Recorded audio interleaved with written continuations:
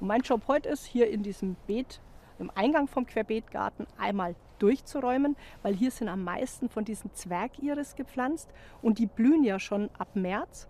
Und der Schnee hat dieses Jahr die Stauden alle runtergedrückt, dass sie fast auf dem Boden liegen. Und da tun sich so Frühjahrsblüher dann schwer mit dem Durchschieben. Manchmal ist es so eine richtige Barzschicht aus Laub und Staudenmaterial und dann kann es auch unten drunter zu Fäulnis kommen. Deswegen räume ich jetzt hier so das grobe Zeug erstmal weg, danach noch ein bisschen die Blätter weg und dann freue ich mich jetzt schon auf die ersten Blüten. Wenn es so bleibt, wahrscheinlich zwei Wochen, weil das geht nämlich dann ziemlich fix.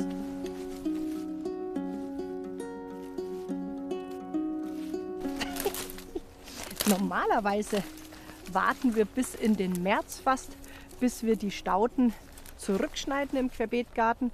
Und bei den meisten Beeten hinten machen wir das auch, vor allem auch im Schnittstaudenbereich, weil da ist kaum was umgeknickt gewesen. Hier vorne ist es jetzt tatsächlich deswegen, weil halt da so viele Frühblüher drinnen sitzen. Und wenn man da zu spät anfängt mit dem Durchräumen, macht man viel kaputt. Gerade bei den Iris ist es so, dass ja in diesen Spitzen schon die Blüte wirklich einfach mit drinnen liegt. Und wenn man da mit dem Laubbrechen zum Beispiel drüber geht oder auch mit einem anderen Werkzeug, dann verletzt man die und dann hat man natürlich deutlich weniger Blüten.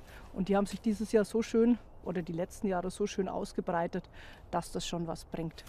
Und das ganze Zeug, was jetzt hier angefallen ist, das stecken wir jetzt noch hinten in die Benjeshecke rein, weil wenn da noch Insekten drinnen sein sollten, dann sollen die noch schlüpfen können und das können sie gut, wenn die Sachen möglichst aufrecht dann noch in der Benjeshecke drinnen sind.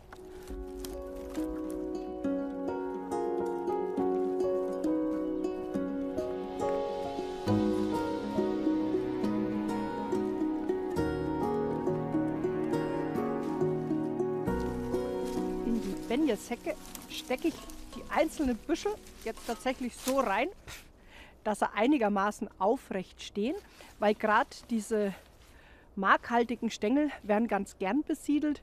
Und das kann man auch mit den anderen Sachen machen, Königskerze und so weiter, dass man die wirklich hier schön reinsteckt. Sieht immer lustig aus und die Tiere können noch schlüpfen und andere Tiere können dann wiederum das Ganze als Versteck jetzt in der nächsten Zeit hernehmen.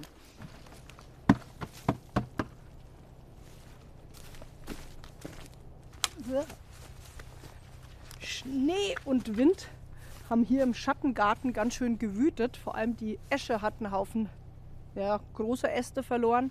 Und bevor jetzt hier auch die Stauden durchtreiben, muss zumindest das Grobzeug weg. Im Schattengarten selber darf das Laub liegen bleiben. Nur, wie gesagt, alles, was so groß ist, dass man kaum mehr Stauden sieht, das muss raus.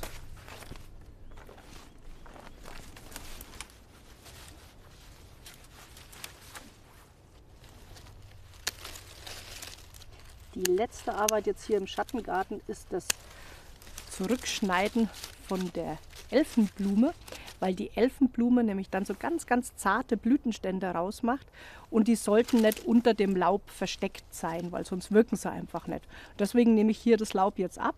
Außerdem kann ich das Laub nachher noch gut für eine Dekoration gebrauchen, weil das finde ich ist schon auch sehr hübsch mit der Zeichnung und es ist auch sehr ledrig, das heißt es hält auch wirklich eine ganze Weile.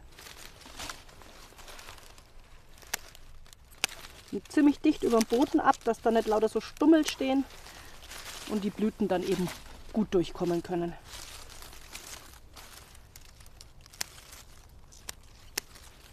das ist auch eine Arbeit, wenn man das zu spät macht, also wenn man damit zu lang wartet.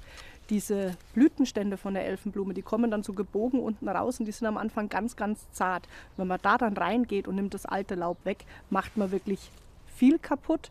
Und wenn es jetzt so warm bleibt, wie es jetzt zum Beispiel heute ist unterm Tag, dann geht sowas auch ganz schnell. Dann ist man meistens oder dann sind wir ab und an zu spät dran, weil wir auch nicht jeden Tag im Querbeetgarten sind. Ja, und deswegen nehme ich das jetzt einfach noch mit und dann ist die Arbeit im Schattengarten erledigt.